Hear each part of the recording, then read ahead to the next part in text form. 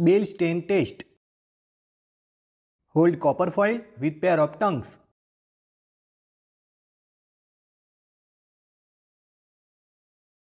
And heat it on oxidizing flame on Bunsen burner till green flame disappear.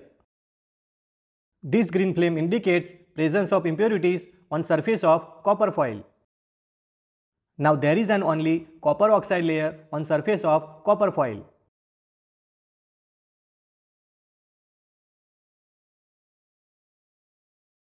Now take small amount of substance on surface of copper foil and heat it on oxidizing flame.